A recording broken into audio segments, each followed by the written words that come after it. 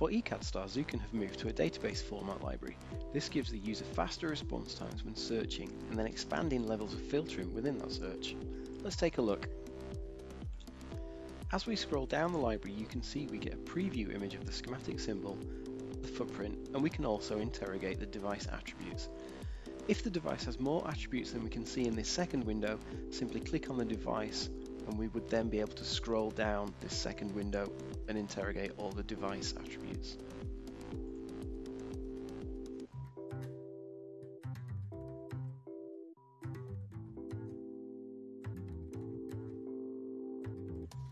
When we dock this window on a second monitor, or make it fill the screen, you can see that the preview image is changed to the top and all the devices and the attributes are listed line by line.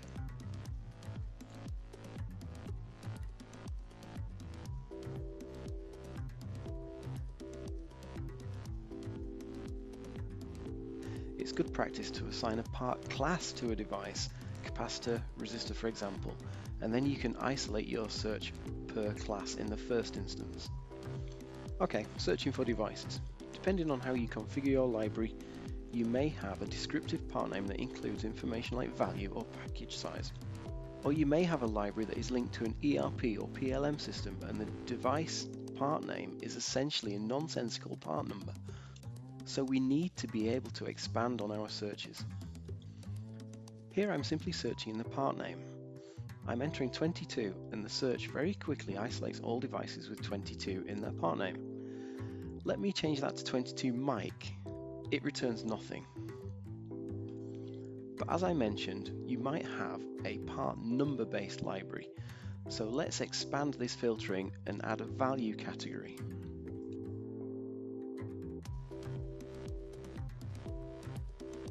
These filters can be saved per part class as well. So if there is a common attribute that determines a specific part class's selection, then you save that filter with the part class. Now imagine for a minute that that description column we can see next to the values doesn't have any useful information in it. We can add an additional level of filtering. Here I'm going to enter package type and see if we have an 0603. Success. Depending on your library evolution, you could then isolate that further by manufacturer or supplier or any other attribute you think might be applicable.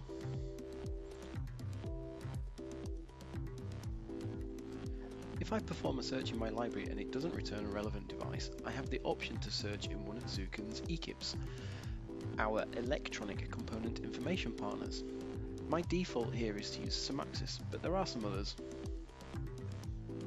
You can see my search has returned nothing within my own library, so I can simply click on the globe icon.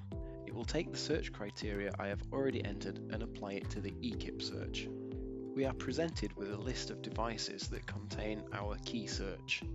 If we follow the link at the end, it will take us to availability and cost from the various suppliers.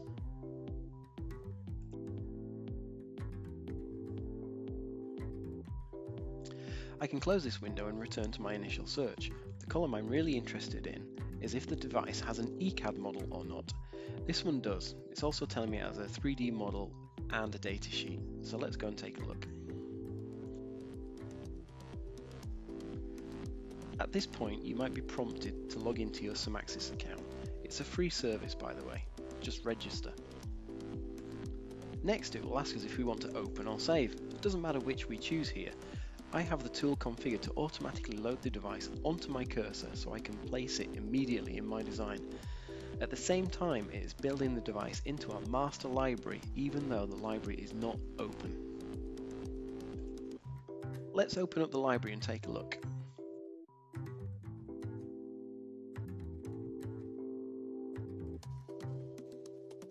Here it is.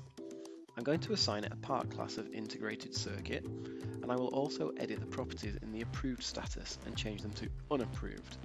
Then at various stages of the design, this device will be flagged as unapproved. It's not prohibitive, it's just a reminder to go and look at this device, check its integrity.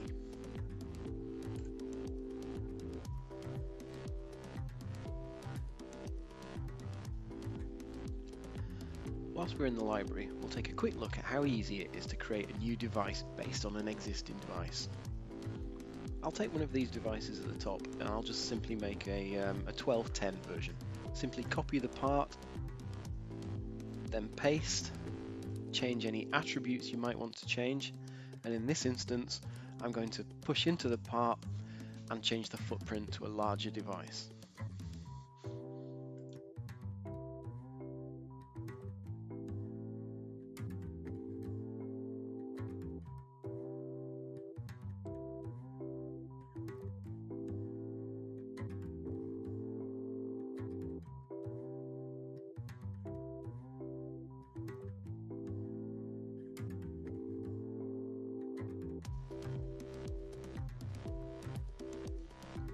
So I'm now editing the part and I'm telling it I want to assign a new larger footprint.